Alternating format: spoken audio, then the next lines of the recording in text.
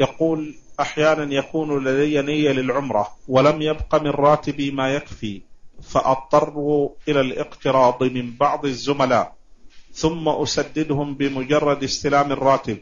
فهل فعلي صحيح؟ فعلك صحيح لكن الأولى ترك هذا. العمرة لازم اقتراض. ما.